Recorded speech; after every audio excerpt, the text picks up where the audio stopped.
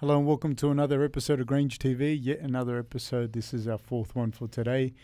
Um, again, at the helm, we have uh, David Roberts, TAFE extraordinaire, Mr. Robert Whittaker, fighter, and Kyle Noke, also fighter from Australia. But Kyle was a pioneer in the game, in the Australian game for a long, long time. Uh, thank you for joining us. No worries. Uh, do you tell us a little bit about what you've been doing?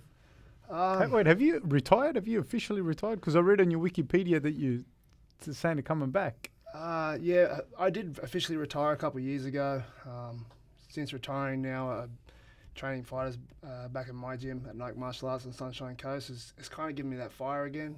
Um, not training so much as well has allowed my body to heal now where I feel strong and fit again. I actually feel better now than I did when I retired. So, um, yeah, I, feel good enough to get back in there. I feel like I'd, I'd right now I would beat my, the old me. Um, so, you know, I, I'm, I'm a fighter at heart. I still have that drive and that, that desire to get back in there. So, um, yeah, one more. Why not? Okay. Um, what what what made you go? I want to retire. What was the thing? Um, the, basically, my body was hurting everywhere. Uh, shoulders. I, I'd find it hard to throw a jab and bring it back. It sort of just fall down. Um, yeah, that just I felt slow. I felt sluggish in there. The desire to be in there wasn't there anymore. So um, yeah, I, I just felt like I was behind the ball and behind everyone else. So I just thought it was time to retire and, and, and let my body heal and then reevaluate what I do from there. Um, in hindsight, I probably shouldn't have retired. I probably should have just said, "Look, I'm taking an absence from the sport." But um, at that time, it was straight after a fight, and I just felt uh, I couldn't compete at that level anymore, and uh, I thought it was time. What do you attribute that to? The wear and tear. Like, how did the wear and tear get that to that stage? Uh, I, I'm not one to really rest in between fights as well, so it'd be straight after a fight. I'd have a week or two off of laying around playing video games, eating ice cream, and then straight back into the uh, gym to train again. So I think that, and also not listening to my body. Um, back then, I was training probably four or five, sometimes up to six times a day. Uh, yeah, it wasn't the best for my body. So Where were you? Was this at Jackson? this was at Jackson's, yeah. So I'd do a couple of sessions at Jackson's, then I go do a pool session, then I go out to Cowboys Ranch and do a couple of sessions with them guys out there over night time. So, you know, it, in hindsight, it probably wasn't the best for my body, but at that time, I thought it was the best thing to be doing to uh, uh, help my skill set get better. But um, you know, I, that's only after I retired, and especially after hanging around uh, Alistair Overeem a bit. Um, he's been a big influence on me since I retired, helping me out with stuff. But uh, it's, it's choosing quality training over the quantity of it. what uh? So you left here when to go to to Jackson's? I think I left 2008, or probably before in 2007. I left Australia to go to Jackson's. Um, yeah, I just felt it wasn't like I was getting the, the, the wrong training here or anything. I just felt like it was time for me to move on from here and go to America. And especially at that time, there wasn't too many Australian fighters in the UFC. So it was hard for the UFC to kind of look at us guys here in Australia and say, all right, we're going to pick this guy, or, even look at Australia for opportunity. So, you know, I felt like back then my best shot was to go to America and, and you know, try and kick the door down and, and get in the UFC.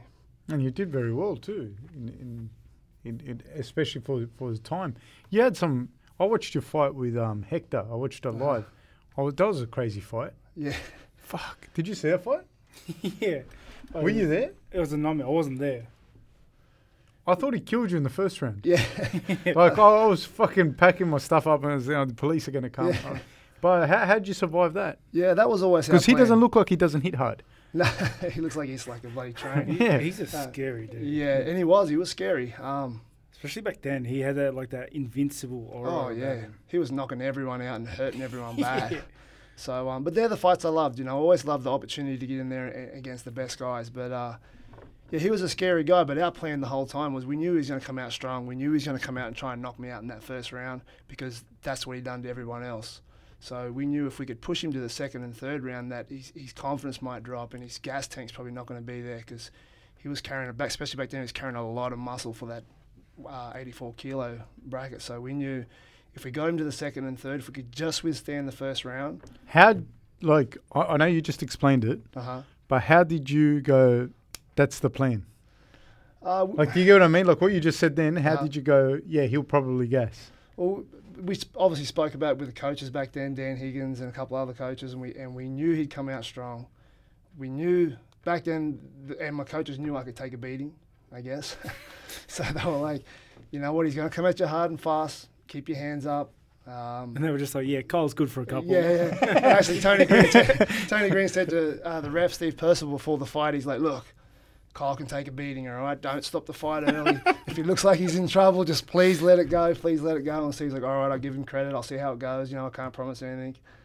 And then, uh, yeah, thankfully, Steve said he got to a point and he remembered. And then, uh, yeah, I was able to uh, come back in the second and third and take Hector to a draw. When in that first round, because that would you, is it fair to say? Like I think you had you had a couple of wars with George Soteropoulos, hmm but would you say that as far as like, because like we are, you know, we knew who you were and whatnot, but would you say that that Hector fight was a like a big timestamp for you in at the time, like in that having that quality of athlete that you took him to a draw, like. Yeah, it was. You know, it was a, um, I guess it was a moment for me to realise that I could pursue the sport further, and I knew, because back then Hector was a name, and everyone's, you know, everyone was thinking about him, everyone was talking about him. So um, it, it was destined for him to either go to UFC or Bellator. Pride, or at the time, yeah. So I knew that if I could get a win against him, that I'd be, um, that that would propel me into the path that I wanted to go. But um, yeah, it, it was, it was had to get there first, and I had to, you know, get in there and fight him, which was a scary thought back then. Were you intimidated? No, I've, I've never been intimidated in a fight. Um, I think that the stronger the opponent, the, the better he is, the more it makes me want to win. And I'm quite the opposite. Where if it's if it's a guy um, where I'm supposed to win, I find it hard to get that motivation to fight. So I always lo- used to love being the underdog. So the bigger the badder the guy, the better I felt. Were you uh, almost out at any stage? No, not really. Um, there's one point where I was backing against the cage and he hit me with a big hand, a big right hand or a left hand because he's southpaw. Uh, and, and I went to step back and my foot hit the bottom of the cage and I fell over. But um, no, at no point in the fight was it ever out. Uh, I didn't feel like he was doing too much damage with his punches. I was able to block most of them anyway. Where were they landing? Uh, just like on my forearms and stuff like that. A couple hit me on the head. Um, I could feel them. They were hard shots, but none, none of them that were sort of ringing my bell.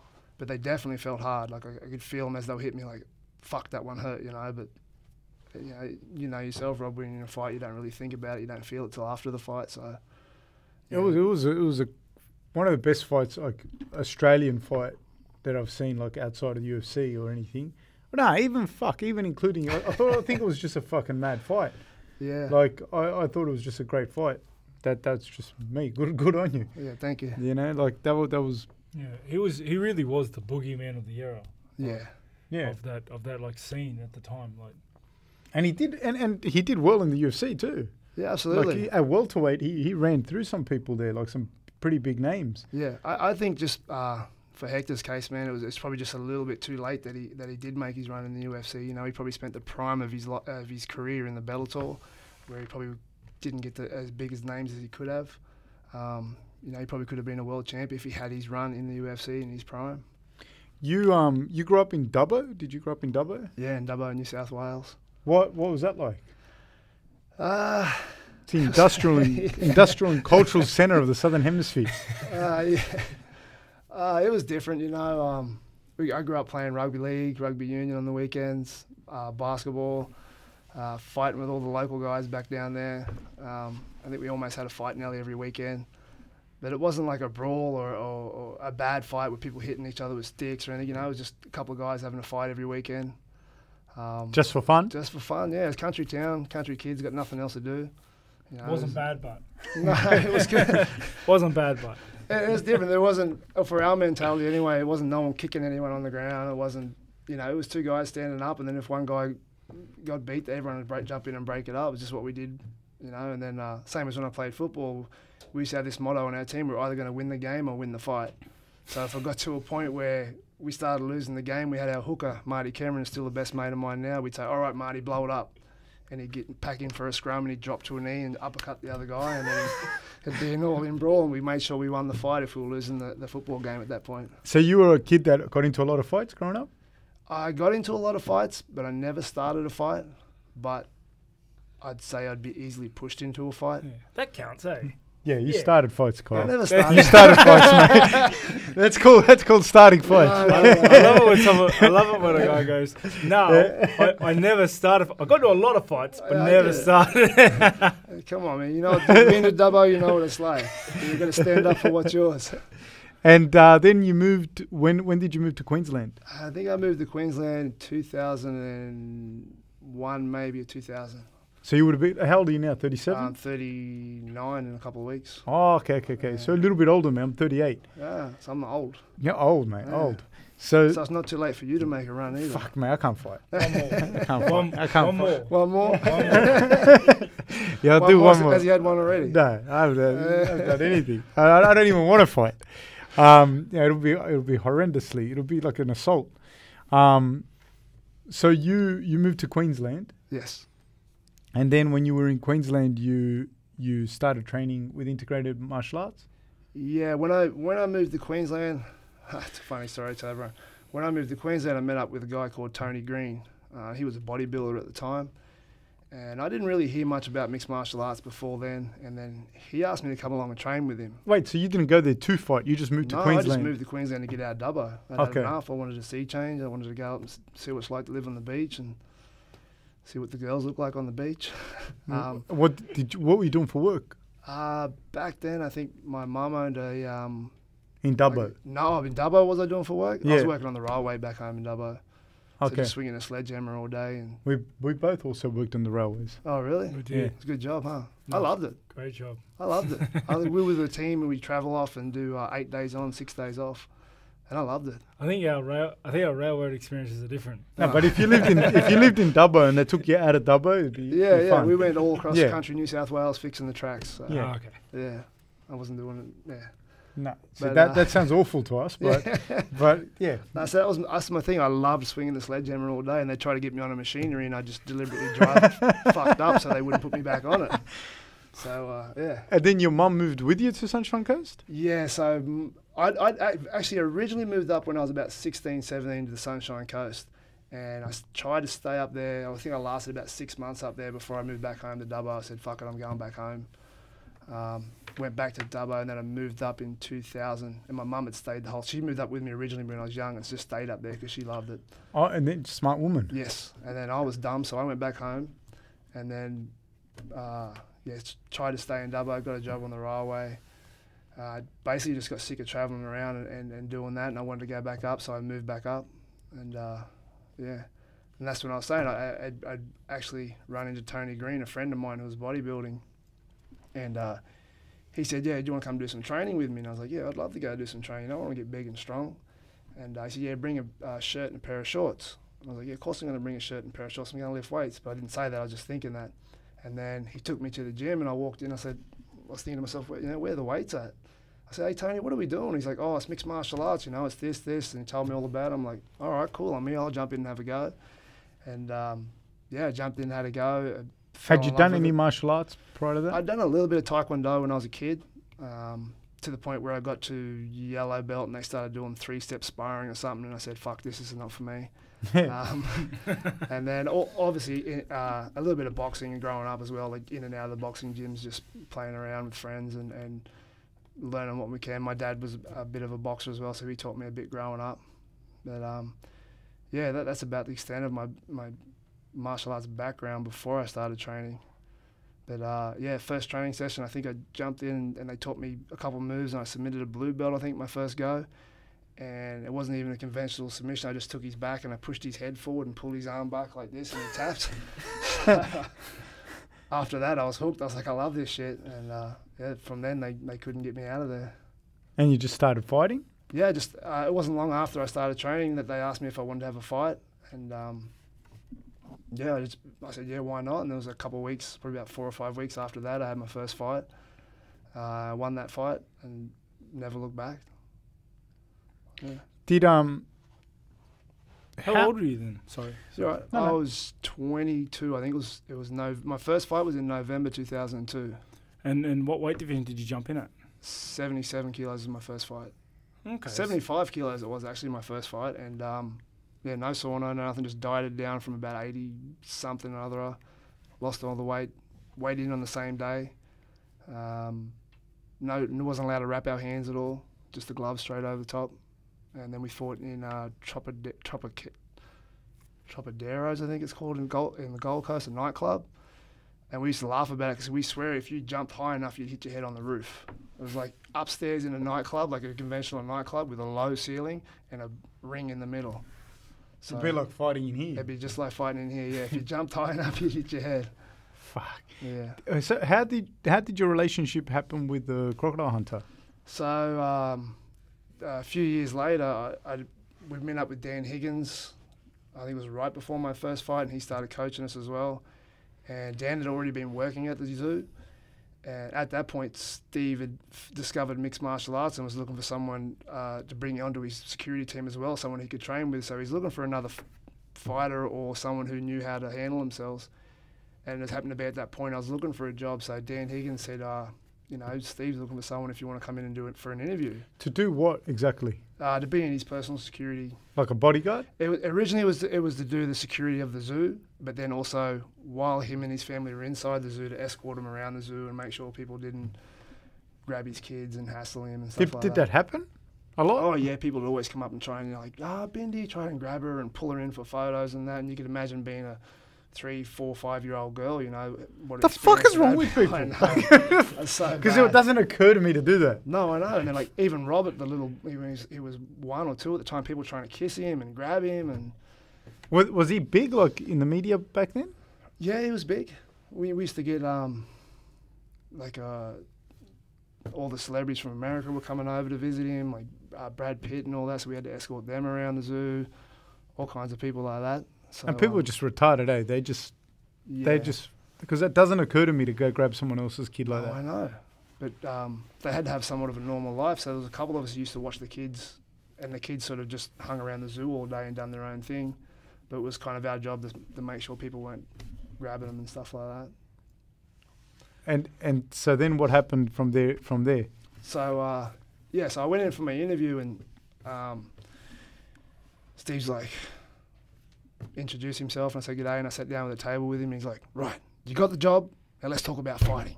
And then after that, it was we talked about fighting for a while. Then the HR department come in, and they're like, oh yeah, you know, um, Kyle, you're gonna have to wear a uniform and this. And Steve's like, no, he's not. He's on my personal security. He's not doing anything like that. And they're like, oh. They threw that paper away. Then they're like, uh, he's going to start on X amount of dollars. Like, no, he's not. He's doing this and this, and basically just HR said, well, then you don't need me, and they left. And then the next day, I, I started at the zoo, and yeah, started. Tra- uh, we used to train at the zoo every morning, and then we'd hang around the zoo and make sure. like Steve you'd was roll with him in that. Yeah, he actually built us a cage at the zoo to train in. He, he loved it that much. He, uh, at one point, he's willing to throw his whole career away just to have a fight. And then we come up with the idea of having a, a charity fight, uh, which still wasn't okay with his producers and all that. they, they still didn't want it. But uh, I remember he made me go to the movies with him once. He rings me, we had radio, so he radios me, he said, Kyle, meet me in the compound, I need to talk to you. Right, I so off I went. He said, we're going to watch a movie. I'm like, all right, cool. What's it? What's it called? He said, it's The Pacifier with Vin Diesel. So it's like a kids' movie. He's like, yeah, yeah, I want to fight him though, so I want to go there and size him up and see what he looks like. So we go into town and watch the movie. Was he a big guy? Steve, yeah, he was, big, he was six foot two and a hundred something kilos. Really? Yeah, That big? I always thought he was like a nugget. He's top. yeah, Yeah. that's what everyone thinks. But he was he was a big man and strong. yeah, he looks like he's fucking Yeah. strong. You'd have to be. Wasn't he like a rugby player as well? growing Yeah, up? he used to play rugby league growing up.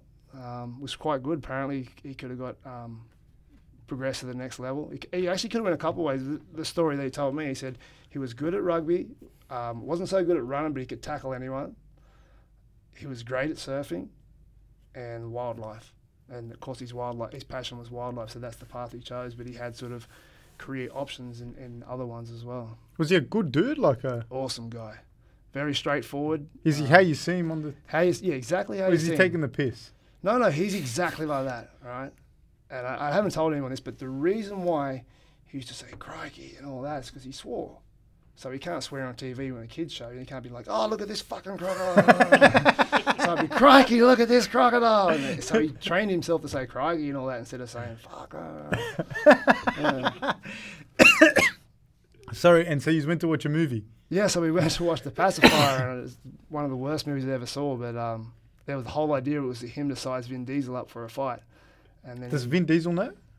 I don't know, I don't know, because he originally wanted to fight Wesley Snipes. He would fucking smash Wesley Snipes. yeah, I but he found out Wesley Snipes was small. So Yeah, like, that's "No, why I'm saying you'd he's- smash him for sure. yeah. Yeah, so after that, he's like, "No, it's good, Vin Diesel, let's go." How small is Wesley Snipes?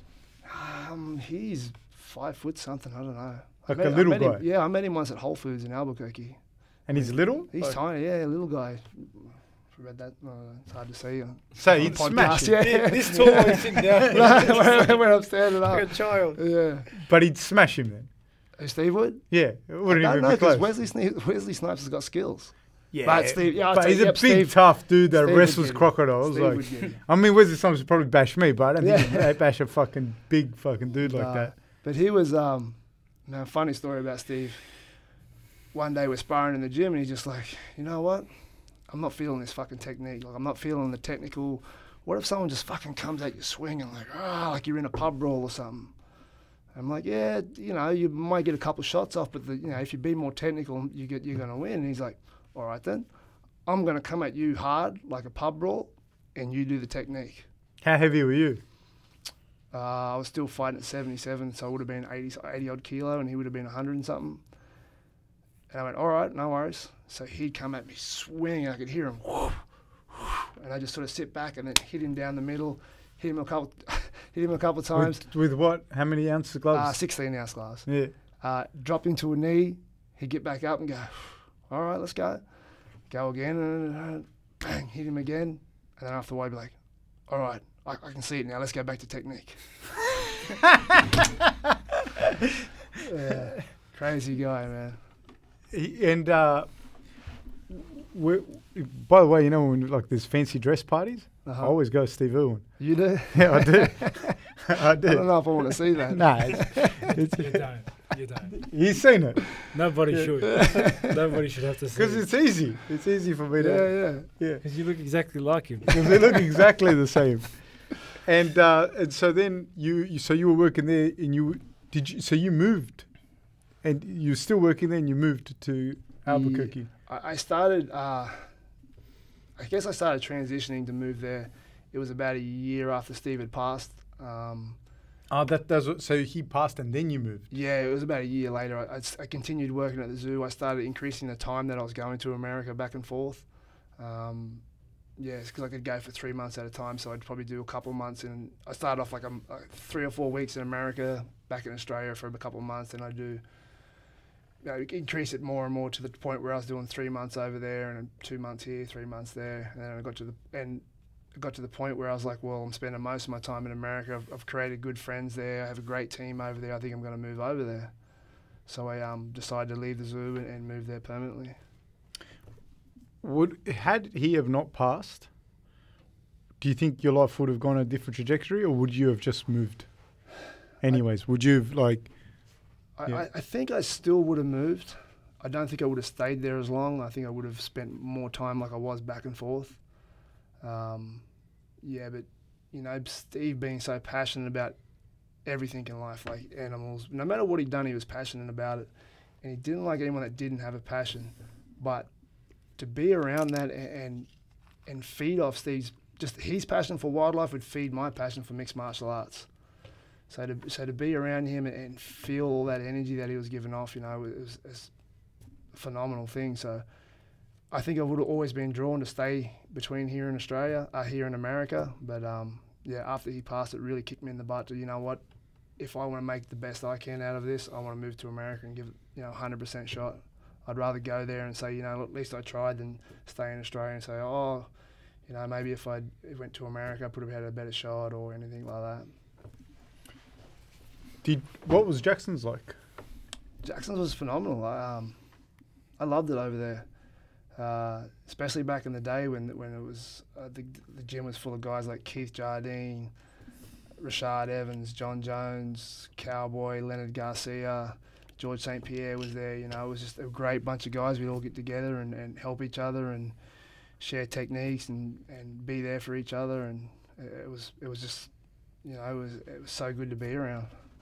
Has it changed immensely?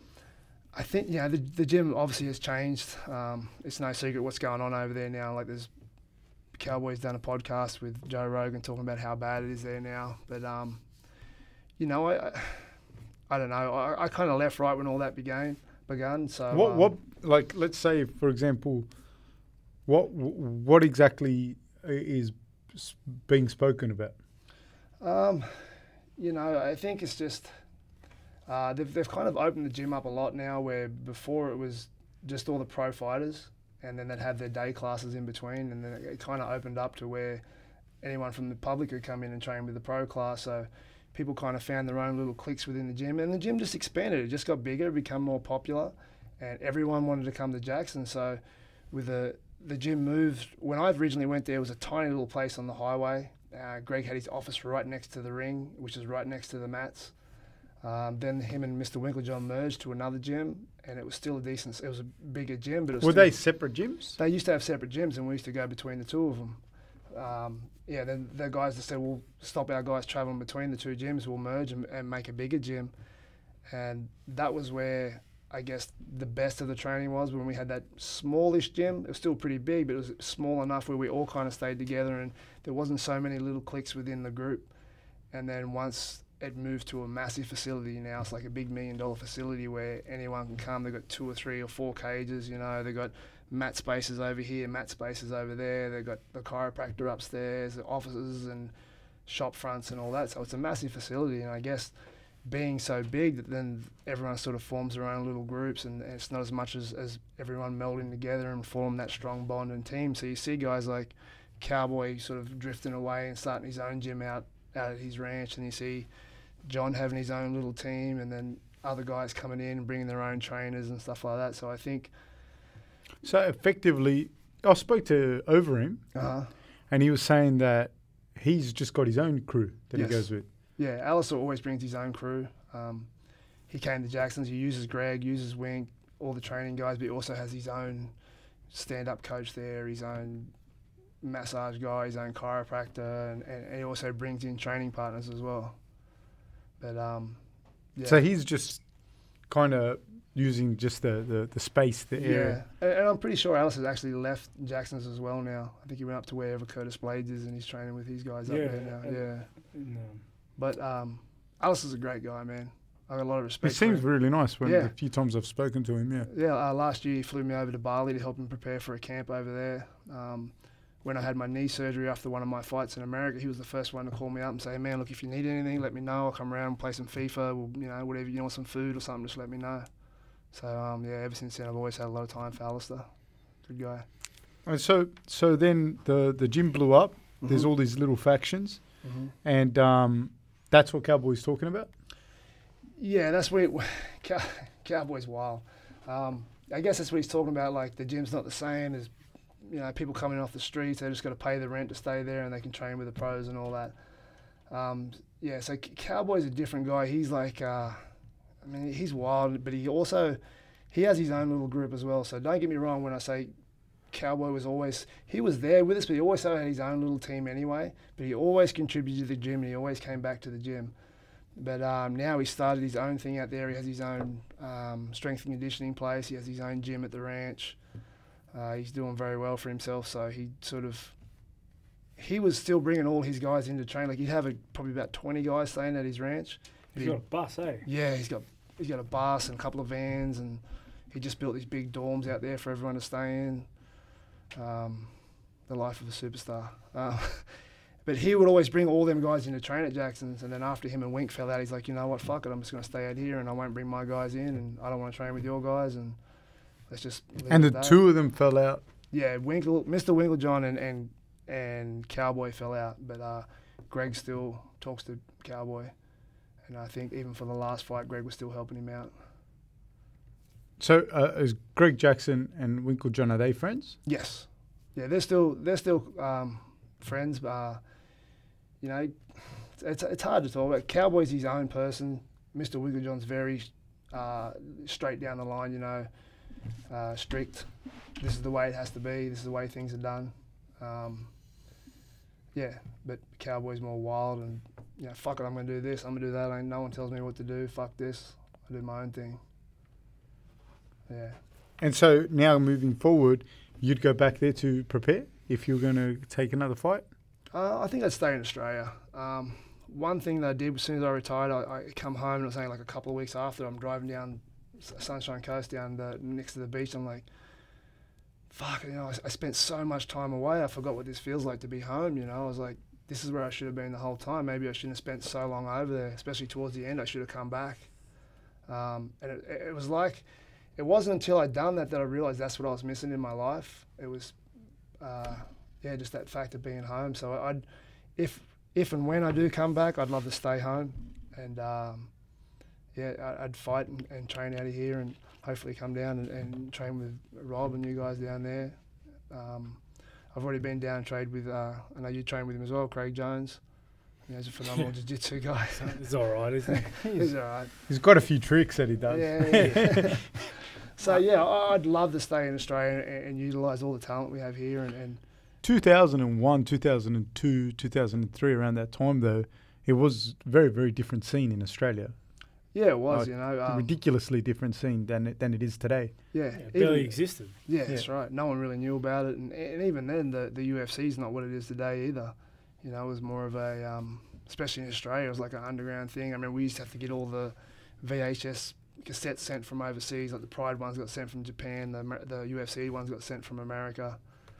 So yeah, it was it was completely different the way it is now. Back then, you used to have to t- explain to people what you do and stuff like that. And even the fight purses weren't, uh, maybe in, in Japan, in Pride, and that was big, but Mm. the fight purses weren't the same. It wasn't like, like you could make a living. Like now, if you're number 15 in the world, you can have a gym Mhm. and people know what it is. And, you know, it's not like back then it was harder, much, much, much, Yeah, much I- harder. Uh, Back then, most of the fighters had jobs back then too. Um, yeah, everyone still had to do something to, to make a career. What What's your hardest fight to date? Mm, hardest fight to date. I have a couple of fights for different reasons, but um, obviously Hector was a hard fight, but it was just more withstanding that first storm. Um, How much was the difference between the first round? Oh, massively. I could just. It was at a point in the in the second round where I just felt him just sort of deflate, like, like he'd given all he got and he had nothing, not much left, and um, that was I was able to turn it around, pick him up, take him down, stuff like that. So that fight, um, Andrew Craig was another tough fight I had here in Sydney, I think it was. I just I was doing well. I was beating him. I jumped on his back, tried to rock up a rear naked choke. I squeezed with my legs too hard. My knee popped out. yeah, I um, remember that fight. Yeah. So, and after that, you know, every time I try to dig in and throw a big right hand, my knee would sort of fall out from underneath me, and then he kind of clipped me on the way down. Looked like he was dropping me every time, but um, yeah, it wasn't really dropping me. Just my knee would my knee would give way on me every time I threw a punch. So that was a hard fight for me to push through as well. Um, not being able to strike like I wanted to, and every time I'd fall down, he'd jump on me, and then I remember he had long hair at the time. They kept on getting caught in the back of my throat, and hair in my face and stuff like that before they made him tie it back. At one point, I had his back and he was on top of me, and all these hairs in my face. I couldn't breathe, and I could feel it going down the back of my throat. And, yeah, it wasn't good. And you, you had a, a, a tough run now, the last few fights. Yep. What what's what's that like for a fighter? Uh, sucks. Um, Oh, it's not a wonderful feeling. Thank you. uh, yeah, it was terrible. Um, but my heart wasn't in there, you know. As bad as it is, it it wasn't that bad because my heart wasn't in it. Um, my passion was kind of dwindling then. I I just had a baby with a, a girlfriend that I'm not with now, and it kind of it was a- bad time for us back then as well. We were kind of trying to figure out what was going on. So, um, and again, I'm in America training, and I've just got a newborn back home. I'm missing her. I want to be back home there, and then I'm fighting with my ex on the phone, and we're going back and forth, and you know, I just wasn't in a good headspace. So I'm just trying to get these fights out, trying to make this money for the for the baby, you know, and um, yeah, that that my heart wasn't there, nothing was in there. So as as, as bad as it was, like it, it hurt after the fight, but in the end, I'm like, you know, fuck it, just give me my money, and um, yeah, and, and that's Was that the last fight on your contract? No, I still had more fights. I still got a couple of fights left on the contract, I think. But I'm, I'm pretty sure now if I come back, they'd make me have a tune-up fight somewhere else. I don't think they'd put me straight back in there. I don't know. Um, it'd be hard to take someone back off three losses, but um, we'll see. I'm in talks now with my old manager in America. We kind of had a falling out, but now we're sort of back working together again and um, trying to find something for me now. All right. Did you watch the the fights on the weekend? I did. I watched the last few, um, and I missed Diego Sanchez. I wanted to watch his. Fuck, Uh, it was a good performance, wild, mate. I know. I heard. What was he like at Jackson? Fucking crazy. Like he really is crazy. He's really, really crazy. I remember one time I'm in the gym by myself and I can hear someone chanting like, "Yes, I am this. Yes, I am that." And I'm like, "What the fuck's going on?" So I walk into where the change room are and Diego's having an ice bath and no one else in the gym. is having an ice bath. He's got his headphones on and he's listening to this uh, motivational stuff that they're telling him to say. I'm like, "Holy shit." But uh, and another time, I remember the first time I went to Albuquerque. Actually, we're running in the mountains, and Diego's got these big boots on with these big fucking springs on the bottom. with springs in the springs on like they're like uh like this shaped like Oh yeah, like yeah. Kangaroo. yeah. I'm like, what's going on? He's like, oh man, they helped me run. They're fucking. Uh, I'm like, all right, man, whatever it takes to get you going. And then he's running the mountain. He's like, yes, this mountain loves me. Albuquerque loves me. I feel your energy, mountain. Yes. Oh, this dude's crazy. Is he a good dude? Awesome guy. How is Awesome. he? How is he running with the group if he had springs on He his got- feet? Mine, like, we're all running a bit ahead of him, and he's like, "Dun, dun," trying to keep up. And Oh, it's just- harder to run with those things. I guess so. But he, he, he thought it was helping his legs do something like that. And that's the thing, he's always got the latest gadget. This is it. This is what's going to help me be, take the next level. I got this thing that fucking rolls my neck out like this. Uh, or I got these beads that I wear here and it sends energy up here. And He's good, good, but Oh. on the ground, eh? yeah, really good on the ground, really aggressive. Um, especially back in the day, right when he won the Ultimate Fighter series, he was like on the ground. No one wanted to go on the ground with him. No one would touch the ground with him. But um, yeah, he went through a part where he started coming down, and these last couple of fights, he's been coming back and just dominating people. And yeah, he did have a quiet spell for a while, eh? yeah, he went through a bad spot, but um, I don't know, man. I don't know. I'm gonna ring him up and find out what he's taking now and what's his latest thing because he's he's doing something right, right? What What did you think of? Let's start with I don't know any fight. Anyone? Did you want to start with any particular fights? Anyone? No, no, not particularly. I, I only managed to watch the main card, Right. but um, I don't know, let's start with Garbrandt. I like him. What Um, What did you think of that fight? I, I, I walked in the last bit of it as well. I walked in where Cody was just throwing, biting down on his mouthpiece and throwing, and, and um, Pedro, was it? Yeah, they were both just going back and Kind of forth. weathering yeah. it and then throwing bombs and weathering. Yeah, which is probably not the smartest thing you do after you've had two knockout losses prior to that, you know. But um, apparently he got headbutted or something, saw red, and just wanted to just wanted to get after him. So um, I guess his emotions took a hold of him. Uh, He he is a very emotional fighter, isn't he? yeah, he is. He seems to be that way. But, I don't know if you can be, like I said, having two knockout loss, losses in a row. You know, you got to think, shit, I can play this smart now. I need to sit back and, and think about down. my career. Yeah, because uh, three knockouts in a row is not good for the brain either. No. So, um, you So- know, he, he should have sat back and played it smart and, and outboxed him because he's got the skill.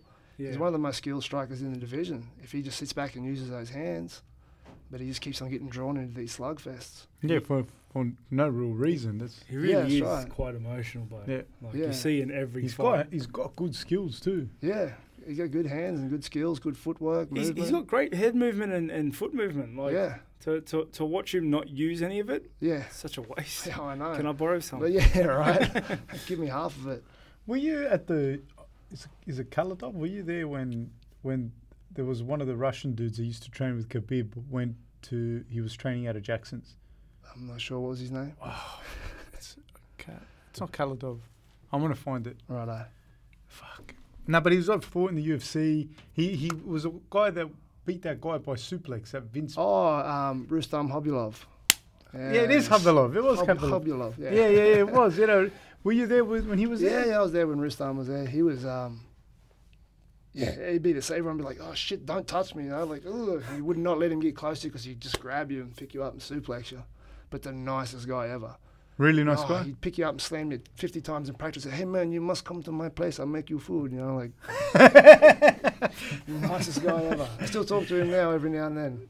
Because uh, he, he actually took a loss, eh, recently. yeah, I think he lost not long ago, didn't he? Yeah, yeah. Yeah. But I, I remember when he came on, he looked like he was like gonna do a Khabib on everyone. Yeah, he um he when he was training in America, he was in great shape. He's in great training, and then I think he got held up with visa issues when he not be able to get back into America, and then his training started to suffer and stuff like that. So I think uh, that's what may have stopped him. But then they started that big gym over in Russia, the American other Russian Eagles or something like that, right? Yeah. So I think he started getting tra- uh, training better again, and, and you know I was hoping that he'd win his last fight because he he really is. He's such a nice guy.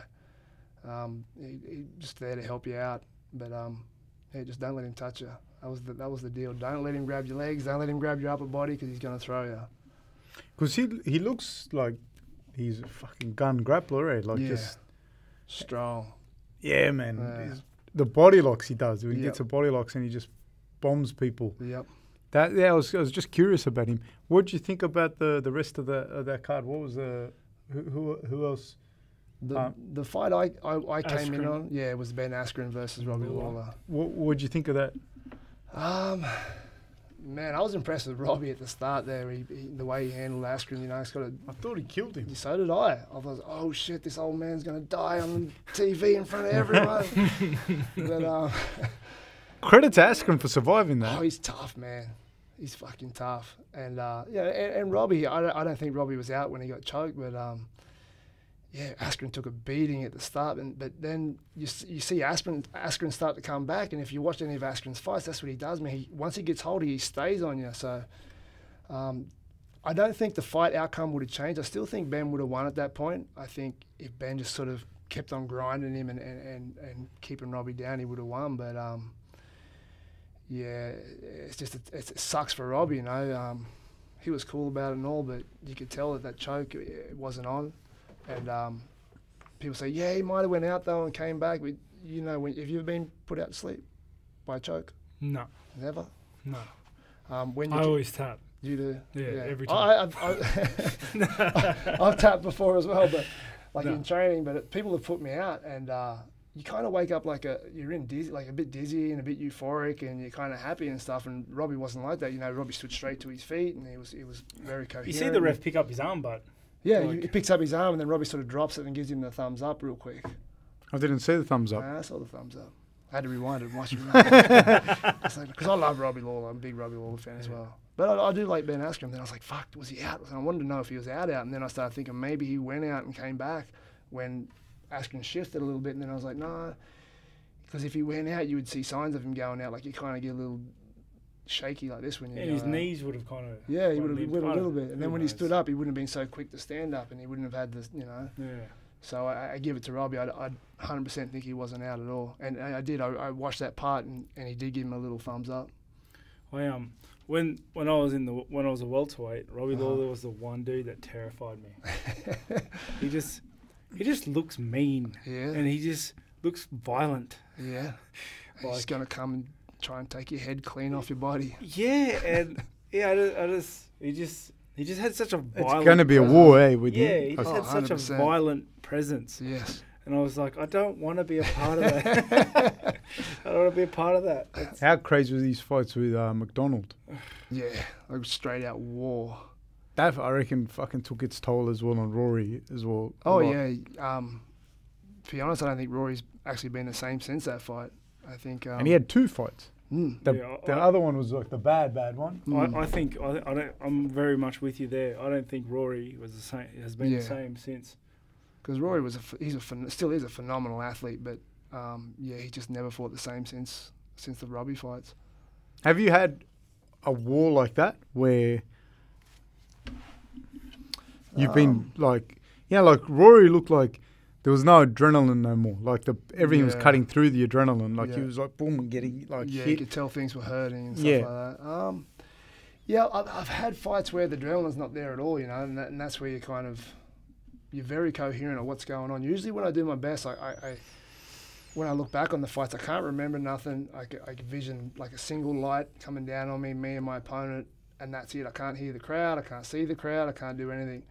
But the more aware you are of everything, or for me, the more aware I was of everything around me and the people cheering and stuff like that, that means I'm, I'm not focused as much on the job. Yeah, your hand. adrenaline Yeah. hasn't. So I'm, Yeah. I'm, I'm picking up everything else, and then when you're getting hit, you're like, "Fuck, that hurts," you know, like because you because you're not focused as much as you should be. But I'm, I'm trying to think if I've had a massive war. Um, Did you were the the fights with Sotiropoulos were they backwards forwards fights? Yeah, they were back and forward fights. Um, they were more fatigue for me than than you know nothing hurt. He's not like uh, George is a phenomenal fighter, but it's not like he's he's a great striker. You know, everyone knew that he was going to try to take you down and submit you. He did work a lot on his boxing, but um, yeah, for me it was it was just I, I got fatigued in the fight with him. And the first fight we had, it was it was an elimination tournament where we fought. I, I had to end up fighting twice in the same night, but I'd drawn George the first first fight of the night and went two five minute rounds. It was a draw, and then it went an extra round, and then I won the decision. And then I had to fight another guy called Byron Donnelly after that fight, uh, which I won that as well. Then the second fight we rematched over five five minute rounds, and he and he beat me then. And that was my last fight at welterweight before I went up to middleweight. If you come back, back where you going to fight? You reckon? Middleweight. I don't want to cut too much weight. Were the cuts hard for you? Um, no, the cuts weren't especially hard for me. Um, the biggest problem for me after a weight cut is always putting the weight back on. Um, I, I found once I got to uh, welterweight and then straight after the fight, if I tried to have another fight not long after that, I'd, I'd, I'd be nowhere near the same size as I was. I'd feel like I'm smaller, you know, to the point where I'm thinking, fuck, I could make lightweight here. So, um, yeah. Do you I- have that feeling? There you go. I'm going to give lightweight a run. No, I'm, I'm one sandwich away from super heavyweight. Shit, I'd probably even like to come back at light heavyweight or, or heavyweight even. How heavy are you right now? Uh, right now I'm only about 90 kilos. But for me, it's, it's the and you want to and you want to come back to light heavy? light heavy or heavy. No, The bigger I get, the better I'm feeling. don't do it. I see don't these do heavyweights and they're lacking the skill. They're all just big brawlers They these days. But Yeah, can you get to heavyweight? They could get away with get it though, because they get have that. legs the size of like tree trunks. Hey man, the skinny leg guys do all right. Jon Jones has got the skinniest legs I've ever seen. and He does all right. He's a big dude. He's tall. He's, he's a very big guy. He's a- He's thick up up top too. Yeah, Yeah. he's like he's a massive guy. Yeah, but skinny legs. Yeah, but like it's proportional, right? Like his leg is as tall as I am. No, he's he's He's got long legs. his calves are like my forearms, and I don't have big forearms. He's got long legs. Oh, mate. long, yeah. Like his his calf muscle is like the length of my whole arm. like yeah, he's big dude. yeah, super reachy and long. His brother's massive too, eh? Yeah, they're all big. They're all massive huge. guys. Because There's when I when I saw him in real life, Jon Jones, he's like, I was like, fuck, this guy's massive. Yeah. Massive. And he, you know, I think, I think the the the reach of his hands and arms make him feel bigger Yeah. because he it just like looks like he's got. s- No, but he is a big guy. Like, Oh he's- yeah. he's got yeah. so much reach. He's just so all encompassing, huge. Yeah. Like, yeah, did um, what was the second Woodley? I was actually wanted to ask you guys this: the Woodley and um, what do you call the fight? The Woodley and Usman. Usman fight. Yeah. Mhm. What do you guys think of that? Oh, I was- um, I thought Usman uh, Usman fought his heart out. Like he, Mhm. he came there ready to fight, and he was gonna he's gonna crawl, cry, blood, scream, and do whatever he needed to do to get that win, or Mhm. to at least try. it. He's giving it everything. To to to meet like Woodley is a phenomenal athlete, and Mhm. I I think um after after his last fight with Darren Till, Mhm. I, I thought Woodley might go down as one of the best ever and just stay there. Yep. But um, the Woodley that turned up for the Usman fight wasn't the Woodley that turned up for the Darren Till fight. It wasn't No. the it wasn't the, the Woodley that's fought up uh, rocked up for, for Maia or, or Thompson. It was the Woodley that showed up for MacDonald that time. Yeah. I, I, and you know what? Not to take anything away from Woodley, like you said, he probably would have went down as one of the best. But the reason why Woodley does so good is because he's got that phenomenal wrestling. Like he's got, he's, at that point, he had the best takedown defense in the UFC. So he was able to stuff everyone's takedowns, keep it on the feet where he can use that explosive power. Um, and where he wasn't a high volume puncher, so he'd sit back, bang, bang, bang, out, bang, bang, bang, out, you know, and then look for that big shot. The thing with Usman is he's just that bit better of a wrestler. So he's able to take And Woodley long down. too. You can Yeah. hold them against the cage. Yeah, a long arm. Very good at that cage Yeah. wrestling. Yeah. So he, it- he's just he's uh, in my opinion, you know, he, he was just a different. He was just a better wrestler. He was able to take it down, control Woodley against the cage. So the, amount of body shots he threw on Woodley was ridiculous. Yeah. Um, yeah, he was just a- able to out hustle Woodley and take Woodley out of his game as well. And for someone like Woodley, when you're in the you're the king of the heap, you know, and, and someone comes along and shuts down everything that you do well, it's kind of, you know, I, I guess it sort of took him out right out of his game. Also, I- don't think, and correct me if I'm wrong, I don't think Woodley has ever been like a super in the moment adapt to new game plan sort of guy. Mm. You know what I mean? I think he, he's, he's always been good when he's the one pushing his game plan. Yep. And up until that point, like, oh no, up until like every fight that he's had to adapt, or he's gotten shut down, or his plan's gotten shut down, or his opponents are implementing their game plan, Mhm. he's had a little bit of trouble. Yeah. One of the things that's surprising for he, his build and his skill set is how how he um, gives up the center of the cage and how Mhm. easily he's able to go like against the cage, Mhm. which obviously helps him when he blasts forward as well. But you've seen him get stuck there a few times. You know what I mean? Yeah. Uh, and he's a fucking monster. Yeah, I know. Um, especially for a wrestler, it's weird to watch him go back like that. But um, Nate Marquardt finished him right Yeah. there, right? Pushed him against the cage, massive elbow, dropped him.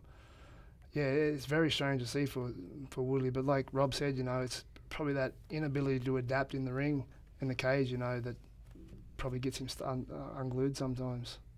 And Us- Usman's very good at just putting the pace Oh. on and just keeping it on. Phenomenal athlete, Yeah. man. He was just he was there to fight. Yeah, he wanted that belt, Mm. right or wrong. He was leaving with that belt. Him and Colby's going to be interesting because th- they do the same thing. They're the same guy. Yeah, I just think Usman's way better at than Colby. Way better. Maybe, maybe. Maybe. No, ho- honestly, you know what? Because I, I, I, I would think that at the Uh-huh. start, but then I see the they've had common opponents and whatnot, Uh-huh. and After seeing Colby fight uh, RDA Uh-huh. last time, oh, dude, the pace he set as well, and that, that wrestle, that wrestle box, wrestle, wrestle, Mhm. wrestle, and the pace, it was it was fast. Yeah. Like it was fast. I because we were we were there, eh? we that was we when you fought that night, and um, that was just that was such a high volume wrestle Mhm. fight. Like there was no. Yeah, he it was so because because RDA kept getting back up, Yep. or, or stuffing his takedown outright. Whereas uh, Usman was wrestling, scrambling, but then eventually he he would get Woodley down and hold him down. Whereas like the Covington fight was just like RDA would get back up every time. He'd get back up and then he'd just do it again and do it again and get like stuffed and get back up and do it again. And like that that level of work rate and cardio was And, like, and Covington's crazy to not see. not small. Like you know when you No, see he's, him, he's a big guy. yeah, when you see have you seen him in, in real life? I've never met him in real life. I just I've seen him in comparison Much to other guys. I know. Yeah. Yeah. much thicker than you think he is. Yeah, right. Like I still don't think he gets up from Usman though.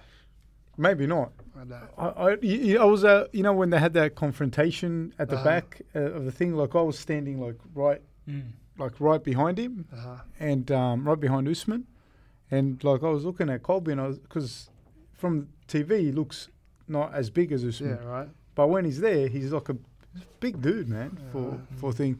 I was Um, called I was called a pussy from that little clip at the back as well. What do you mean? I, I saw that. Yeah, I was called a pussy because like when they started mouthing off, I just slowly backed away. Oh, you should have just bit someone. no, and like, all my friends just told me, "Oh, you're pussy." That time, like things Yeah. started mouthing off. I was like, "Fuck you! I don't want to be involved in their shit." Yeah, why are you gonna get involved in someone else's beef? Yeah, I do the same thing. Step back, watch it from a distance. Like, all right, go for it, boys. Uh, man. I'd like to see the fight. yeah, yeah, right, you just go. want to fight, go. But I'm not going to referee it. I though. want I'm going to watch it from back here. I want no part in this Yeah. move. and end up with a fine or something like that, and then not being Oh. able to fight. And how do you think then Askren would do with Usman? Because Askren's a, like another level wrestler, but I, his his hands don't look the best. no, I know, but um, ah, that's a tough one. I, I like Askren, man. I, I like him a lot. Um, you know, one of my good friends, Tim Kennedy, trained with him, and I asked straight away. I had to ask Tim, "Tim, what was he like to train with?" He's like, "Man, he's one of the best grapplers I've ever trained with." And Tim's trained with Aaron. Tim's one of the best grapplers I've ever trained with. So, for him to say that, you know, I was, I've, I've been an Askren fan for a long time, and then when he said that, I was like, "Oh, okay, he's definitely legit then."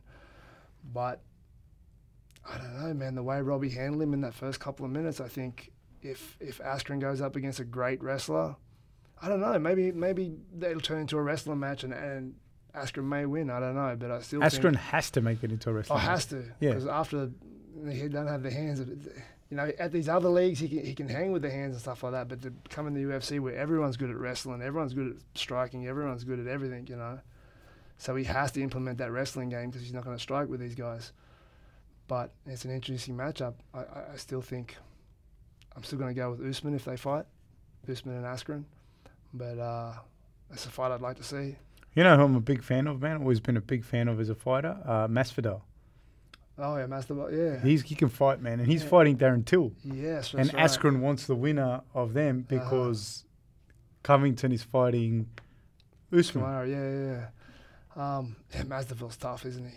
Oh, Very, very good, man. Oh, phenomenal, and just the way he receives the fight, the way he moves, and, and the way he throws his strikes is, is you can tell he's a high level, high IQ fighter as well. He's not just a brawler; he's he's, he's there. Well, this fight with Darren Till is going to be interesting. Yeah, I know because Darren Till's, I, and that's. I think Darren Till takes this one out though. He's a big guy. Yeah, Darren's a big guy. He uses his range. He's an intelligent striker. Um, yeah, I, I think Darren Till takes that one out. But Masvidal can grapple. Oh, He's yeah. a good wrestler. Good Yeah. grapple. I'm sure Darren Till can grapple too. Yeah, and, and I think Darren Till will be a lot better at his wrestling and grappling after the last after he fought Tyron Woodley as well. Yeah. 'Cause he's got to know that that's it. That's that's the plan for anyone that fights him now, because he's he knocks out everyone else and, and outstrikes everyone. So You, you know, I find it funny like people that that um that comment on Till's uh, grappling. uh It's like, did, did you see that shot he Fuck. took from Woodley beforehand? I know. I know. like I don't I don't think it was exactly I don't think it was grappling at that point. like like that shot he walked into it Uh-huh. and Woodley threw everything he had and like that was such a big shock shot Yeah. like that was huge. I don't think grappling had anything to do with it. it was, a big shot. it was so very, very big. big shot. It was so big. And uh, you know the other thing, just I'm not I'm not saying that this has happened with Woodley and take anything away from Usman, but even when you see fighters like not not that it matters anyways. If you lose, you lose. You win, you win. But you think any anything goes wrong as well. Like you were saying, like you're arguing with your Mhm. partner, whatever, and you. I, I say it more like sometimes you know we're talking to people, people go, you know what he did wrong, and I think you tell me what he did wrong, mate. Yeah. You fucking tell me, mate. I'm sure he's gonna come here and Yeah. fuck while you're bagging groceries and take the Yeah, piss out of you. right? People, they have, because have no anything idea. could be anything. I remember I had one fight. It was one of my first fights in the Elite XC, and I couldn't eat food. I made weight easy. I couldn't eat the whole week of the fight. I was that sick. Every time I put anything in my mouth other than water, I'd throw it up straight away. Um, yeah, so it's, I remember my friend Joe Vissignor had to carry me back, like to all the interviews and stuff I had to do. And then he'd go, right, we're at the door now. Fucking walk in there like a man, sit down, do your interview, come back out, and I'll help you get back to the room. So I'd have to straighten up, walk in, do my interview, come back out, and I'd near die coming back out, and he'd catch me, and we'd walk back to the room and lay down again. And that happened all the way up until the weigh-ins, and when I weighed in, I started feeling a bit better, and then I got some food into me, went out and fought the next night and won my fight. But it could have went the other way. I could have stayed. I was going to fight no regardless of anything. I'd travel all the way from Australia to America, and I wanted to fight. But you know that could have went, ended really bad for me. I could have been there all depleted and, and no energy and got knocked out bad. But um, luckily, I was able to finish it in the first round. What were you sick with? I have no idea. We were, we were, we were fighting in um, Corpus Christi in Texas, so we'd left Albuquerque, arrived in Corpus Christi. I think I may have got food poisoning or something. I don't know. But um, Is Corpus Christi's tiny, eh? yeah, it's a small place. And they had an Elite XC card They had there. a Lean XC card there with Kimbo versus Tank Abbott as the main fight. Yeah, Fucking hell. yeah. So yeah, But it's tiny, tiny, isn't it? yeah. I think it's pretty small. We didn't get to see too much. I remember going out afterwards. I went out with the Diaz brothers and Gilbert Melendez and that, and Jake Shields, and we went to a strip club and had some food at the strip club, and then they went out in the car park and play fighted for about an hour, and then we all went home. That actually smoking weed while then. that actually sounds awesome. Yeah, it was actually yeah. Because I at that that was my first fight in America, like for a big organisation. So I was kind of um, yeah, I was just sitting back watching it all and thinking how fucking cool everything was. Yeah, Did did you um did you watch then the Jones and uh, Smith fight? yeah, I watched the watched the whole fight. What did you think? Um, you know, it, Jon's just a phenomenal athlete. Um, what I noticed with Jon, he, he he has a different game plan for every fight. Every fight, right? He goes in the fight and says, "Okay, this guy's a good wrestler. I'll out wrestle him. If he's a good striker, I'll outstrike him." Um, and I think with Smith, he just done everything better than Smith, and, and not taking anything away from Smith. I think Smith was just a bit, you know, like a bit shy of Jon, and, and didn't really do what Smith could have done to him. You know, I think, um, yeah, Jon just sort of took him out of his element and just outworked him everywhere. But uh, you know, Anthony Smith not get not taking that win like he did. You know, that's goes to show how much heart he has and and how much respect he has for the sport to not just sit back and, and take a win when he got needed illegally. Um, yeah, I take my hat off to Anthony Smith, man. He's a tough guy. Fuck yeah, I saw that. That was crazy. That that Took fight. a lot of punishment. Oh yeah, a lot Like- of punishment. When I was watching him, Uh huh. like, copping shots in like the fourth and the fifth, I was thinking like, dude, you're gonna be sore for like three months. Oh man. Like Yeah. when when Jones was stomping his feet Uh on the fence, I was thinking like, dude, like, you know, put shoes on tomorrow, man. dude, just stop. Yeah. Like, Yeah, Jones is. He's man, he's a freak. I remember when he first come to Albuquerque, you'd catch him in a submission one day, and then the next time you'd like uh, next time you'd roll with him, you'd never get him that submission ever again. Like he'd learn from it straight away, and then just that's how quickly he progressed in the sport. Because when he come, he just got to the UFC, so he wasn't the big name that he is now, and he just yeah, just everything he sh- anyone showed him, he soaks it up, takes it on board, trains for hours at a time smart training though, just going through his combos. He has a book and he goes through all his combos, and you know he's always training smart. Is it true about him not training? no, he trains. He he, Jon, uh, he was. I understand his point of view, right? He was thrown into the spotlight from a very young age.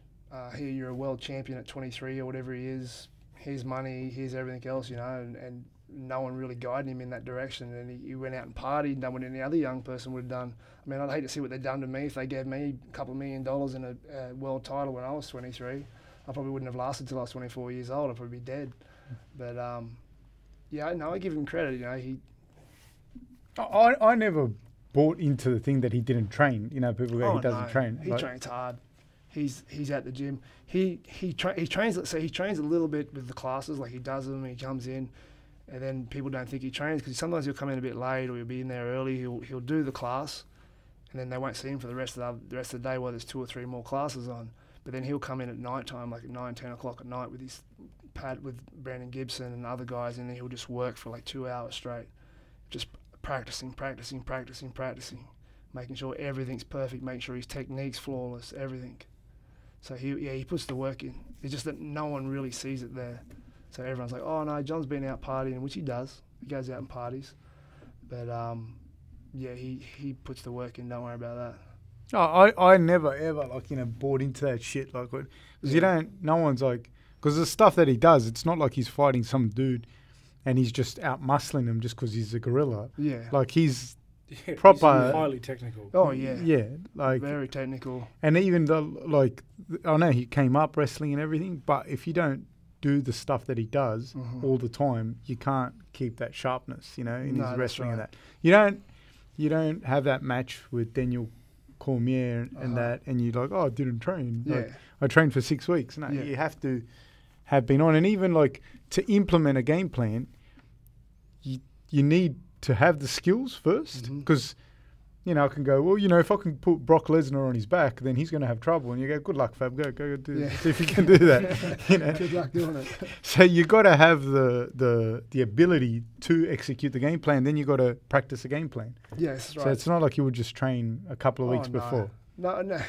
The only fight where I saw he didn't train too much was the first fight with Gustafsson, where he kind of took it lightly and he was out partying a lot more than he was training. But he was still, the days that he was there, he was still working his ass off. He's still training. He watches fight footage two or three times a week. You know, they break it down to every little aspect of the of the thing. And the thing with Jon is he can watch that fight footage and then go back and like it's like he remembers it all straight away. You know, he remembers what the guy does. So for him, I guess by the time he's fought, he's already probably already fought the guy hundred times in his head already. You know, he knows everything that he's going to do. But um, yeah, he's a freakish, freakish athlete. And as a as a fighter, he's like uh as a like as a training partner and whatnot. Did Mhm. you train with him a lot? Yeah, I trained with him a, a fair bit. Um, he actually used to bring me along to all his strength and conditioning sessions, his pool workouts, and he introduced me to swimming in the pool for my cardio and stuff like that. Um, he used to take me everywhere. But uh, he's a phenomenal fighter. because I said athlete earlier, he's not a phenomenal athlete. He's a phenomenal fighter. He can't do anything else but fight though. He can't play basketball. He can't play football. He can't do. He can't swim hardly. Uh, yeah, eh, only he can do is fight.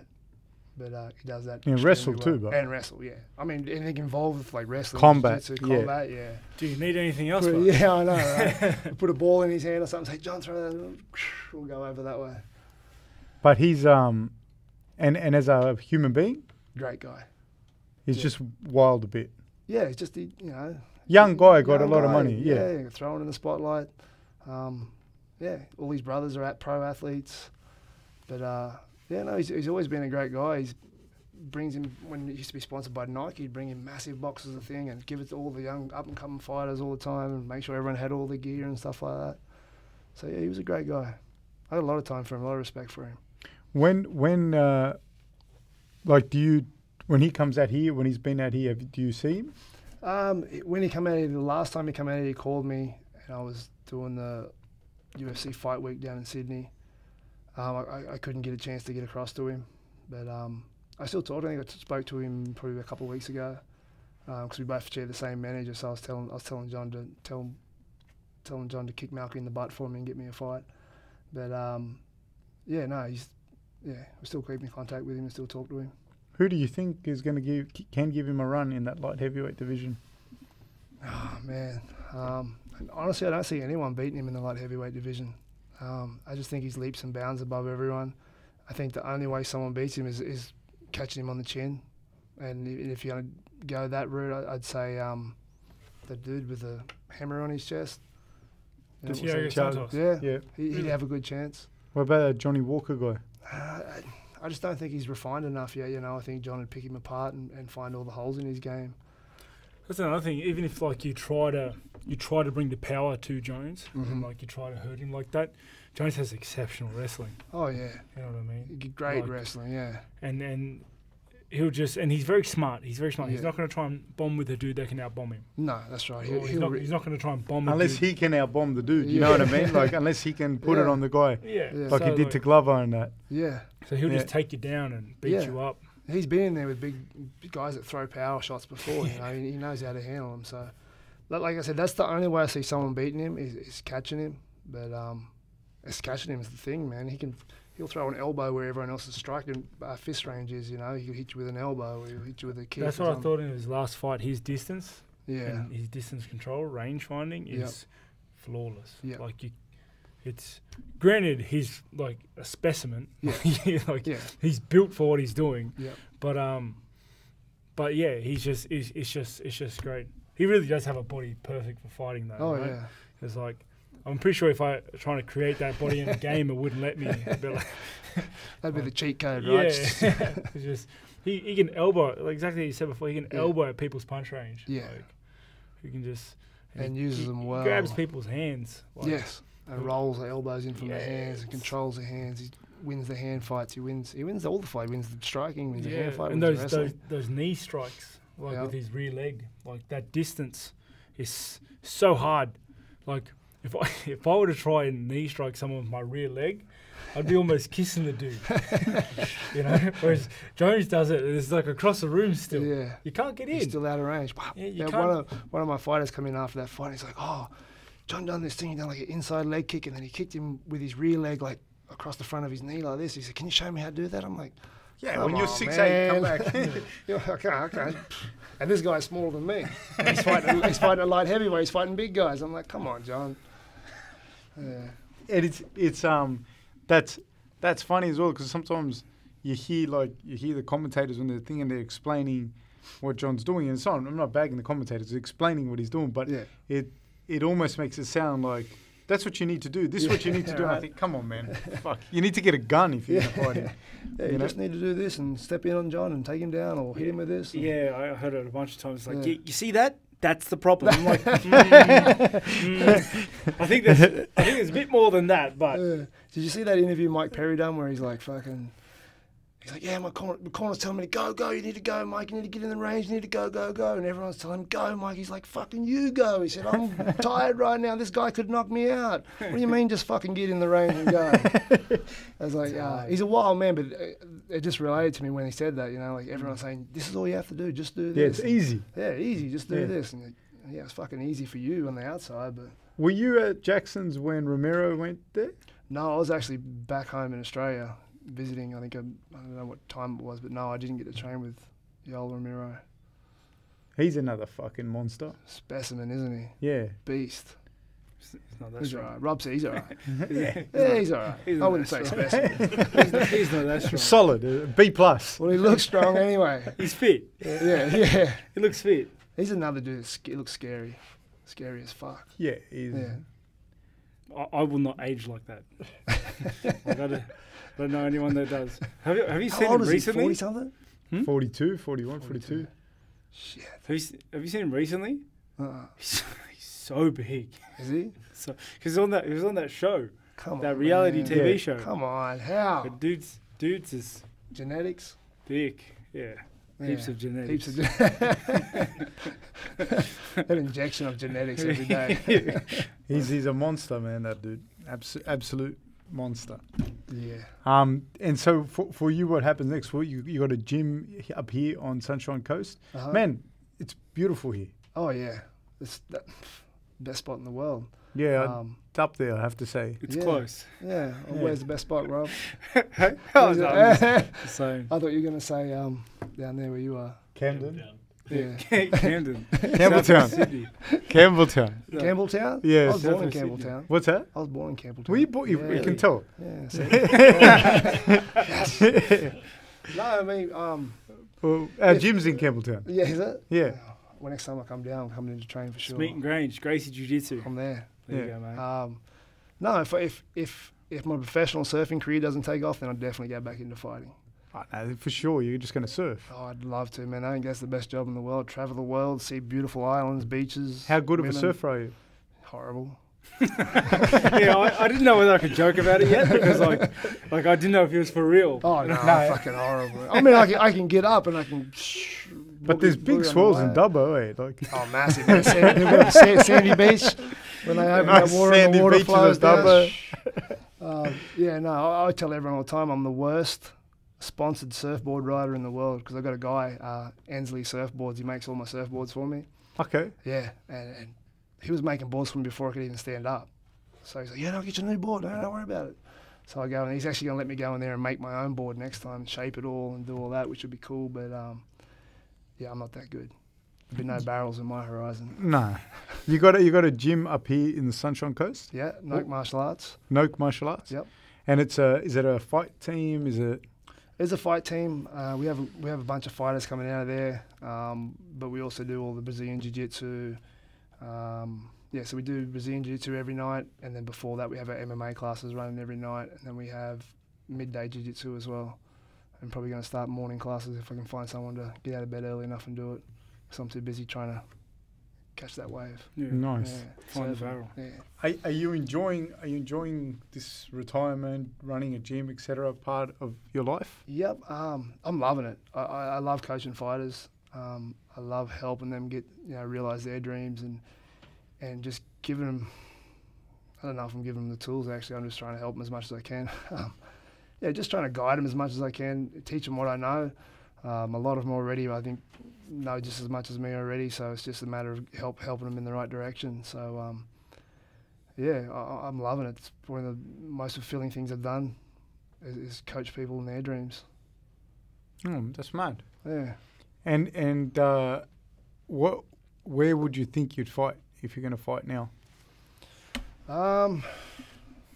Well, if I go back to Dubbo soon, I'll probably fight back there. but um, yeah, I, I don't know at this point. You know, um, I'll would you want to fight in the UFC, or would Oh, you want to, or would you want to have a, a, small fight first? No, I don't. I don't want. I don't think I need a tune-up fight. I think I'm, I want to go straight back to UFC. Um, like I said before, the harder the fight is, the the more challenge I feel, the more I train, the mo- the better I feel going into the fight. You know, make me the underdog every time. I don't care. I want to be the underdog. At light heavyweight, for Or real? maybe heavyweight. For, for real, I'm I'm serious. Now, if, Yeah. if I can put the weight on, I'd do it. How much weight can you put on? I'm trying to find out now. I've started tracking all my macros and seeing, making sure I'm eating enough protein. I found out I wasn't eating enough protein before. How much? How, how you reckon you can get to uh, 105, 110? Yeah. I reckon I do it. I've been up to 110 before, so And were you fat or were you no, no, I was pretty pretty big. I was um, still fighting at middleweight, so I couldn't get too fat, but uh, I'd blown up to 110, I think, or more. But w- were you like No, I wasn't fat. you weren't fat? No, I was still like I am now, like ripped. No, I'm shredded. yeah. shredded. Yeah, okay. Uh, no, I had a bit of a belly, but not not fat, not fat. I wouldn't say I was fat. Yeah, just strong. I'd say I'm more strong looking. Should see me at 110. It looks like a ball, like a Swiss ball. you um, and, and so you genuinely want to fight at heavyweight? I would, yeah. I, I've, uh, like the, the more weight, obviously the more Those weight. I guys put are on- fucking big. Yeah, they're big dudes. I'm just they trying to talk hard. you out of it. No, that's all right. I still think I've got a good chin. Um, yeah, I- you know, my chin's still there. you So. seen Ngannou?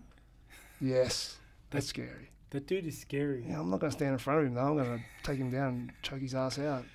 There are some of those heavyweights that if aliens came down today and they saw us, they wouldn't think me and him are the same species.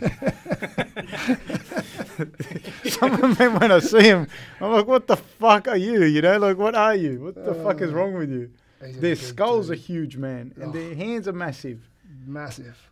But mine will get big if I get big. How much GH are you going to take? Man, I just, I don't know. I just want to do it. I just want I to don't do think it. that's how it works, man.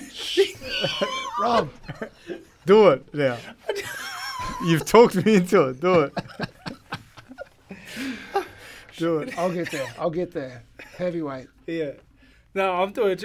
I'm, I'm going to start. Can a you thing. get to a point Well, if if, I, if when I get to heavyweight, I'm first thing I'm gonna do is I'm gonna come down and lay on you. No. I'm gonna I'm, I'm, I'm gonna start. Rob? A, Ugh. no, I'm going to start a rally. Like, no But- for heavyweight. but I, I want you to get so big, you have to cut to, Oh yeah, to heavyweight. yeah. I can I can eat. yeah, like you have to be like Mark Hunt that time in Adelaide, and you have to be sitting in the hotel foyer in one of those teepees Uh-huh. and just dying. Ah, how big do you have to be to cut to make that? What is the cutoff for heavyweight? 120. 120. 120. Two sixty five, whatever that is. Yeah, yeah, 120. I think it's 120. yeah, And that's, that's, massive. man to fucking have to cut there. Yeah, it's huge. Yeah. Like Mark is such a Mark Hunt. Th- Yeah. Would you really want to fight someone like that? I don't want to, but I would. I don't want to though. I I wouldn't fight him if I had an say. armor guard. You know, there's those like a, one of those trucks, an armor guard truck, and a gun or something. And He's such a. he'd take Remember he did the bullets too, wouldn't podcast. Man, when he did the podcast with us, and you see him sit next to Rob, he? Uh, and it's like two Robs, and he's he's athletic, man. yeah. And I know he looks weak, but he's not. Oh no, he doesn't look weak. Hey, Mark, Mark. I didn't say you look weak, mate. Nah, he's, he's a monster, eh? There, If he's listening, I didn't say you look weak. there are some big dudes, and you can see the Yeah. difference to the guys that have to cut down to heavyweight and Yep. the guys that don't. It's like there, there is a significant Bam. size is different. Bam Bam as Yeah. well. Yeah, Bam, like, Bam Bam's huge. Does he big cut to make heavyweight?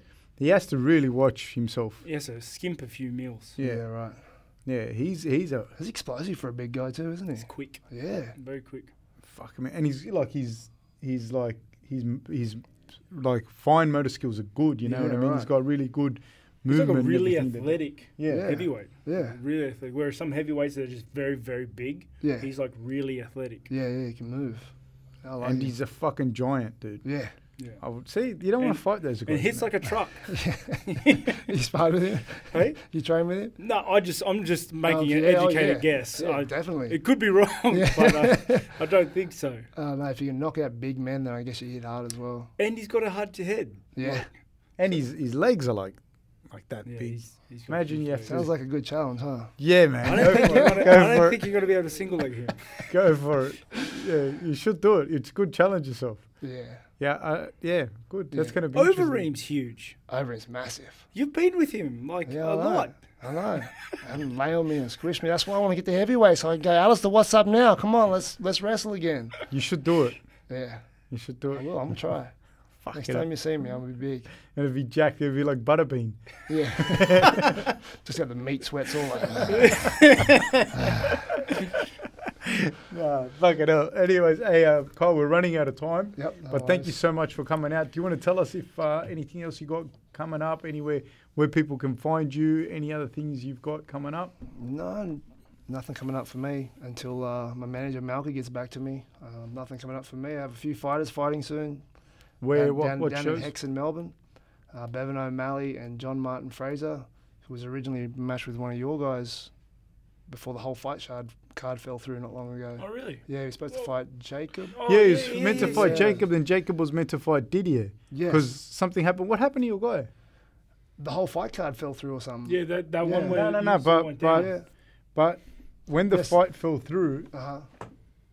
No, the the fight card. Like remember, Whole fight the, card the got whole dropped. card got canned. So then we tried night to before, we tried to max. yeah, no, no, but th- Jacob was already matched with Didier that day. No, No. The, the fight card, the whole fight card went to shit, and then we asked the new promoter contact. Said, "Look, we heard the fight card went to shit. Can we use John?" And went, "Yeah, yeah." And we said, "Look, we already had opponent match. They've both been training for each other. Can they fight each other?" And they said, "No." Um, Jacob might be already matched with someone else or something like that. yeah, that. with with yeah. Didier, and then when we when on fight night, no, after the weigh-in, Uh-huh. they canned They it. canned the Yeah, whole card. right. Sucks, man. That's happened to him twice too. He, spo- he was supposed to. fight John Martin Fraser was supposed to fight Didier as well, and and a couple of two weeks before the fight, they rang up and said, "No, the whole fight card's cancelled again." Really? Yeah. It's a local fight scene, mate. Who Yeah. who's he fighting? Who's he fighting now down in Hex? He's fighting Nathan Reddy. Oh, he Oh, trains with us too. Yeah. Ready? All right. Yeah, he trains twice twice a week with us. Yeah, Okay. yeah. Um, at light heavy though. At light heavy, yes. Okay. Yeah, yeah. He trains with us a couple of times a week. It's good. Should be good fight. Yeah. Um, and who who else? What other weight and who do they fight? Uh, Bevan O'Malley be fighting lightweight, and I can't remember the guy's name he's fighting. But Bevan O'Malley's a uh, he's another up and coming guy. F- uh, phenomenal uh, Muay Thai record. Fought in Thailand, fought all over the place, mul- multiple championships in Thai boxing, and is making the transition to MMA. He's had a few MMA fights. Um, yeah, he's just improving leaps and bounds. So I can't wait to watch him fight down there as well. What's his name? Bevan O'Malley. Okay. Yeah. All right. Mm. So that that's your guys, and your gym is Noke MMA in, oh, Noke, Noke Martial Arts Uh-huh. in on the Sunshine on the Coast. Sunshine Coast. and Shout out to you guys. Yeah, Awesome. thank you. Thank you so much for coming, Kyle. No Thanks a worries. lot. Thanks for having me. Thanks a lot. Thank you, brother. I appreciate it, No man. worries at all. Thanks, Dave.